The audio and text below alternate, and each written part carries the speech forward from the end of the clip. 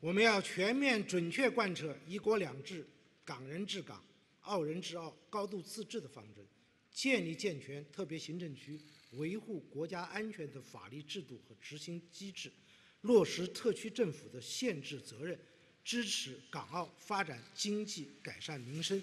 更好融入国家发展大局，保持香港、澳门长期繁荣稳定。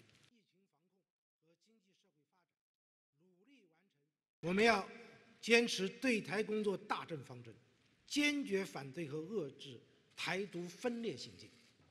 完善促进两岸合作交流、深化两岸融合发展、保障两岸同胞福祉的制度安排和政策措施，团结广大台湾同胞，共同反对台独，促进统一。我们一定能够开创民族复兴的美好未来。